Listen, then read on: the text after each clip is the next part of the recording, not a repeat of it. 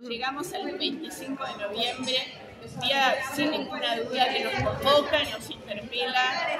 Vamos a, aquí en La Matanza a hacer una enorme cantidad de actividades que tienen que ver con el arte, con la reflexión, con los talleres, algunos en la plaza, en la plaza de la Ferrer, en otros.